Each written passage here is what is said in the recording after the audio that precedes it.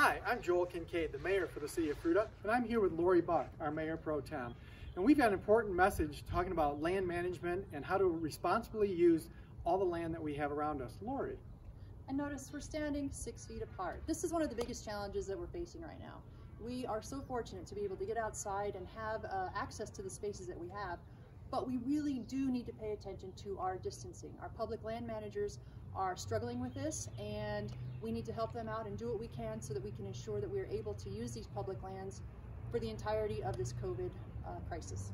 Thank you, Lori. And I would add to that that all of us living here in Fruita as locals, we love to get out and use those lands. So when you see people, help inform them that this is a great place to recreate. It's not just about us, it's about all the members of our community. And this is the distance that's going to keep us safe. Thank you.